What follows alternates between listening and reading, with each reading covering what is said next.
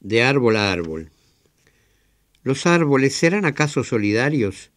Digamos el castaño de los campos elíseos con el quebracho de Entre Ríos o los olivos de Jaén con los sauces de Tacuarembó.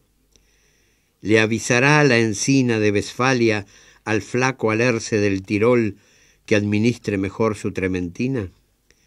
¿Y el caucho de Pará o el baobab en las márgenes del Cuanza provocarán al fin la verde angustia de aquel ciprés de la misión Dolores que cabeceaba en Frisco, California?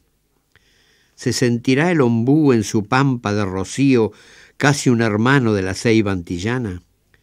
Los de este parque o aquella floresta se dirán copa a copa que el muérdago, otrora tan sagrado entre los galos, ahora es apenas un parásito con chupadores corticales? Sabrán los cedros del Líbano y los caobos de Corinto que sus voraces enemigos no son la palma de Camagüey ni el eucalipto de Tasmania, sino el hacha tenaz del leñador, la sierra de las grandes madereras, el rayo como látigo en la noche?